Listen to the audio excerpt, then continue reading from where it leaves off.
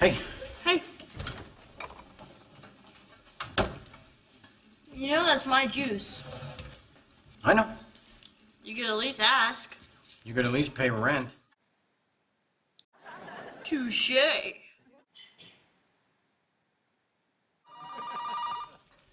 that's a bookie or a woman, you know what to say. Harper residence. Sorry, he's dead. Interesting. No one ever calls back to find out where to send flowers. Oh, Touche. How does it feel to go a whole week without booze, broads, or betting? It's actually kind of a relief. I never realized how much effort it took to avoid feeling anything. Yeah? What are you feeling now? So far, mostly nausea and boredom.